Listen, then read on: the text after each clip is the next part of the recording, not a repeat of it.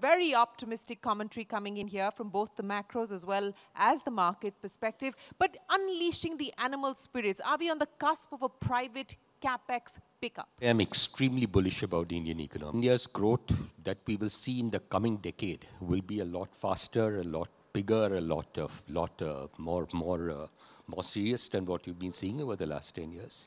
And I say this on the back of the fact that the penetration level you see of almost any product in India is so low compared to what it exists in the, in the rest of the world. I mean, if you look at financial services, for, ex for example, mortgages are about 11% of GDP. In most advanced countries, mortgages are over 50 to 60 to 70% of GDP. And in emerging markets, they're about 20% of GDP. You take total retail credit to GDP, it's around 18%.